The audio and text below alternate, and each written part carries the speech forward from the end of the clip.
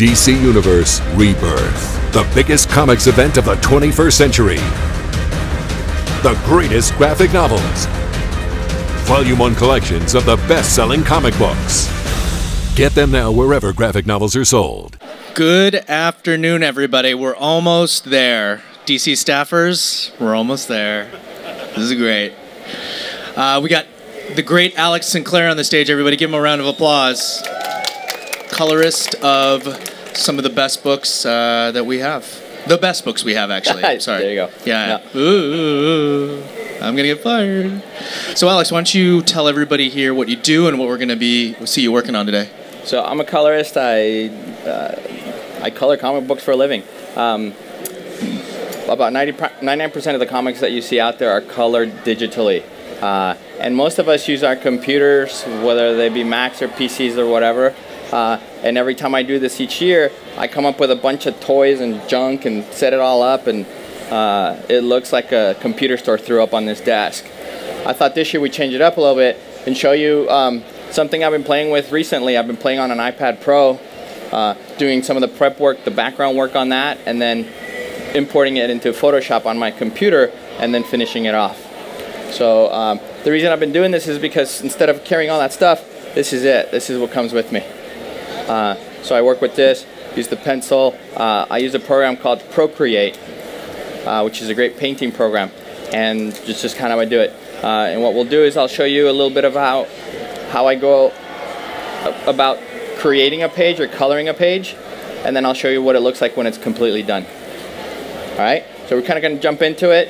Um, I prepped the file by using layers. You can kind of see here on the, on the upper right corner, I've set up the, the line art to be floating above this blank space. Uh, and and uh, the line art is also, anything that's white on that line art becomes transparent because I have it set up to be, uh, it's called multiply. So it, it only will uh, react with other colors. So if white is there, it's almost like it's transparent. So that's that's one of the setups. And then um, it's very simple.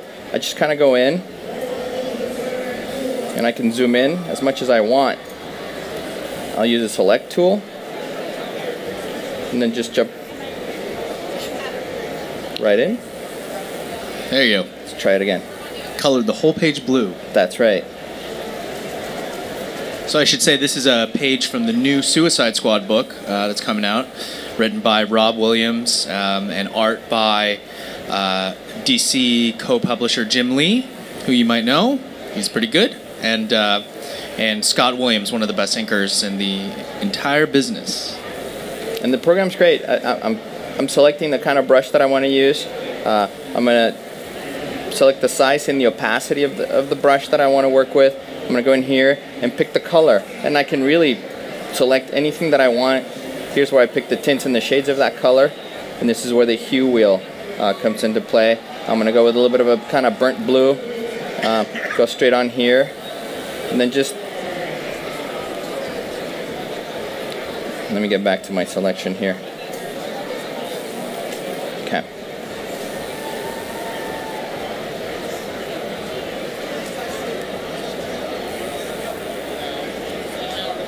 Uh, here we go. So now, as I start to paint on here, only certain areas are, are, are affected, and then I, I'm going to come back with a little bit, add a little bit of texture. And all these are the kind of brush presets that, that come with the program. You can create your own brushes. I'm going to go here with something called Rusted Decay to give it some texture. Blow it up, decrease the texture, increase the value.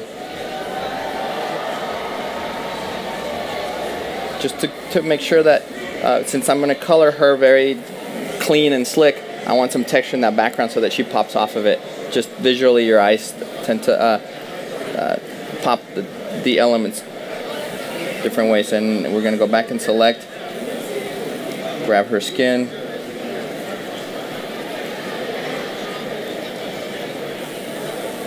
And through this, it's just, it's about kind of uh, figuring out what part of the drawing is what. So this is part of her palm. Here's her fingers. She's holding two guns, so trying to read what Jim's drawn and Scott's inked. And since I'm going to color the, the hair la later, I'm, I don't have to worry about being super clean around here. Right now we're worried about her face. Uh, go back to the brush, select the white. In fact, I'm going to select this little bit of kind of bluish white for her.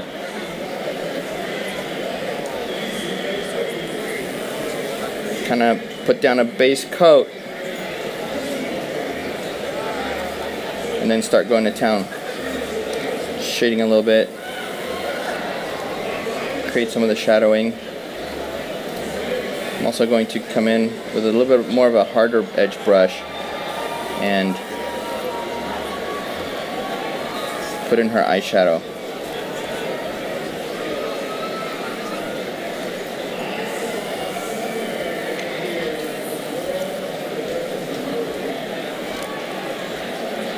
So you see, Harley always has. It's always about her black and red, and her um, one of the hardest things to do is, is keep track of what's what half is red and what half is is is black for her. Uh, whether it's the makeup, the the shirt, the shorts, the boots, the socks, the, the earrings, the gloves, the the fingernails. Uh, so I actually have like a, a, a, wireframe Harley that I've drawn, and then uh, I've actually just flatted out the colors. So I just glance at it and remember, because sometimes it's easy to remember, but if she's turned around and, and her left hand's coming across her body, uh, I have to remember that that's you know that's the blue glove with the red fingernails hand, and not the other way around. So it's she's cute, she's amazing, but man, she's confusing the color because it's everything is and it's everything is opposite from the other. So her hair on her right side is red, which means that the eyeshadow on her left eye is is red, and then so it alternates. So the suit alternates the boots all the way down. I'm very confused right now. Oh yeah, trust me. So it's a manual process. There's no built-in program here that's going to remember for you. Oh no, I wish. And then going from panel to panel, is there is there any type type of uh, automatic process that will help you remember exactly what color you're using, exactly what shade of red or blue? Um, I have a preset palette on my computer for each character. So each character has a set of swatches. So I have a, a set of swatches that have Harley's skin, Harley's lips, Harley's hair, Harley's red and blue, and then Harley's secondary red and blue because her jacket red is different from her outfit I see. red. Yep. So I do have a set of swatches for every character. So on the Harley book, every character in the Harley book has a set of swatches. Every character on the Superman book has has a set of swatches. So I, I import these uh, as I go along. All right, so I'm gonna go back and start to uh, add some shading to Harley here. Um,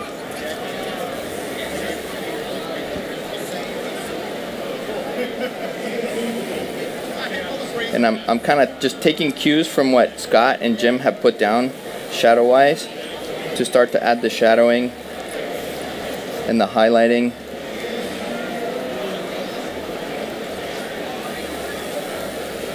And I just just very slowly build up.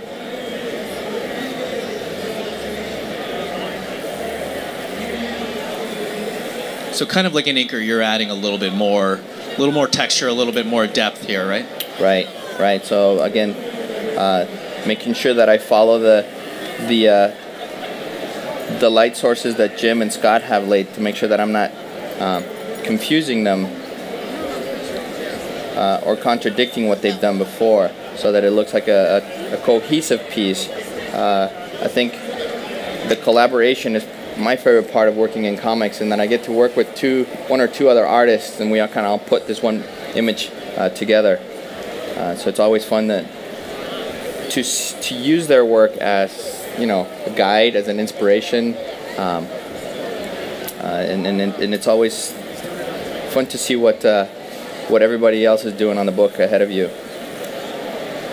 With light and shadow and things like that, are you using photo reference or is this just your experience coming through? It's yeah. So this is years and years of rendering, you know, superheroes, human faces and bodies and and, and gestures. Uh, uh, yeah. Uh, when it when it comes to very specific mechanical stuff, I'll pull up reference just to make sure that I get the colors right. So if there's an AK-47 somewhere, I gotta make sure that it, the color is right so we know it's an AK-47. I see. Yeah. Uh, so Um, but other than that, if it's a brand new Batmobile, I kind of get to play with that scheme uh, and add different elements to it. Very but cool. if it's something that's been established before, I do have to look it up, make sure that I'm getting it right. So people, when they look at it, they immediately know what it is.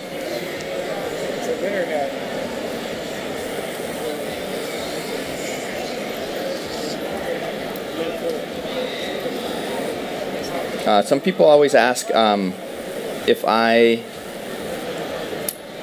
what kind of say I have in the color scheme, what kind of say I have in, in the, the, the lighting that I use. Um, um, and usually what I do is I, I'll read the script for the book along with the art to kind of get uh, cues from the, from the writer to see if they ask for a specific time of day, which will influence the palette.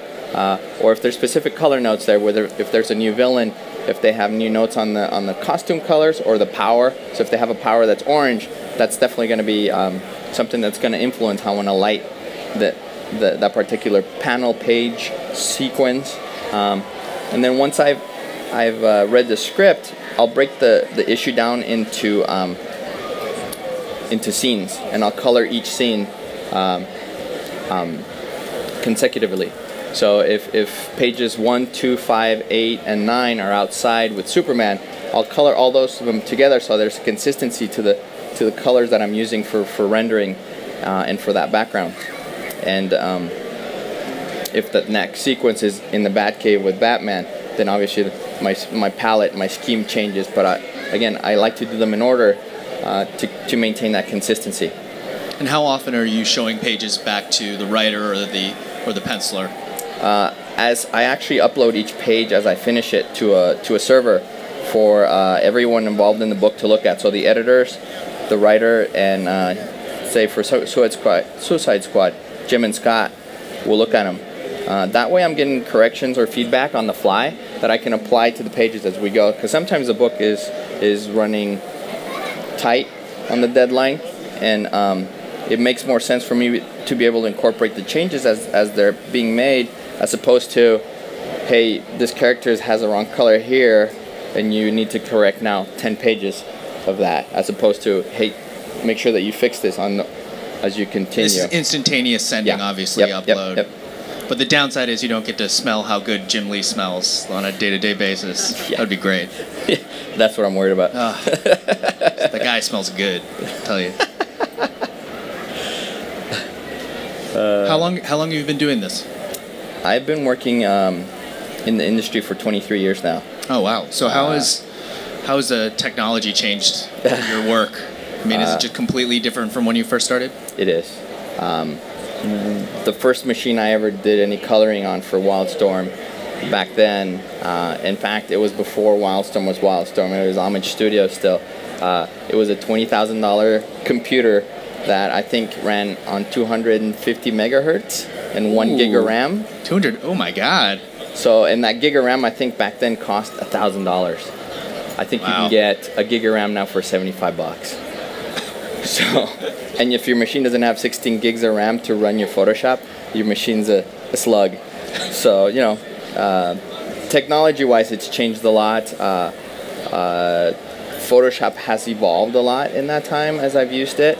Uh, it's become, it's gone from a computer program really to a, a painting medium. Uh, I equate Photosh- using Photoshop to learning how to paint with oil paint, watercolor, uh, anything like that. So it is really a, a paint a, a painting medium.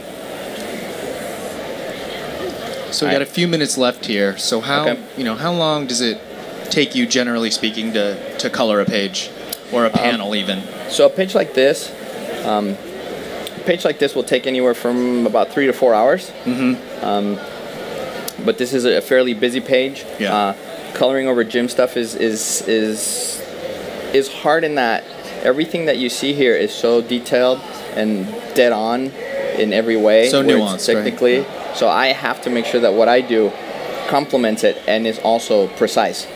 Uh, Exactly. So that there's a lot of, of, of uh, making sure that as I'm rendering, I'm, I'm nailing the art and, and, and getting the uh, getting uh, technically correct everything. So and anatom- uh, anatomically as well.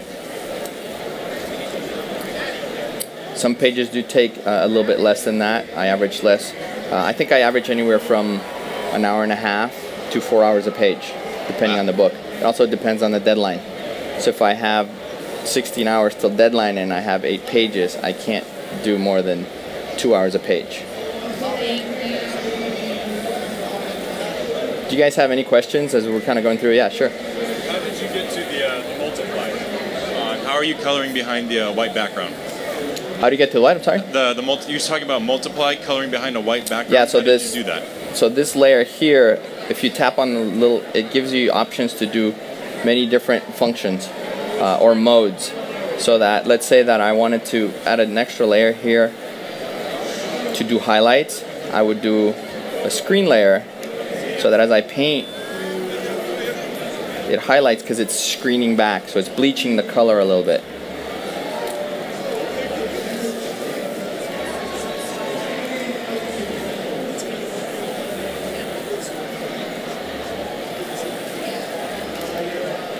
So in Photoshop, I really only use one layer to do all the highlighting and shading, and then I, I start to add different layers for the special effects.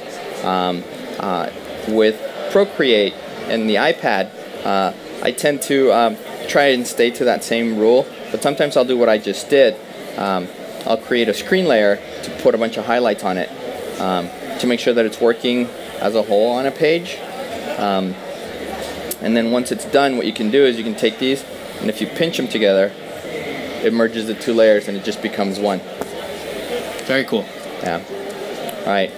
Um, so I'll kind of work my way through the page that way. Um, I tend to do the easy panels first, uh, especially if, if I'm kind of getting started. I'll, I'll do the headshots first, so I like to get the detail into the faces, and then I'll do the kind of technical panel at the end.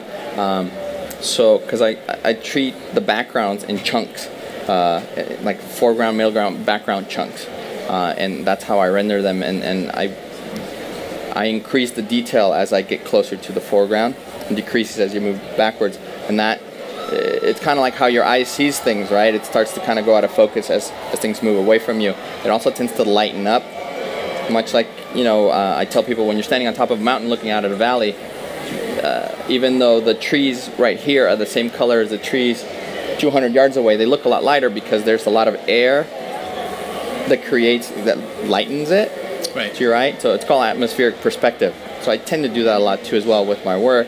I'll lighten it as it recedes to make it, um, to give it that three, Three dimensional. dimensionality. right. Yeah. Okay. All right. So you guys want to see what the page looks like done?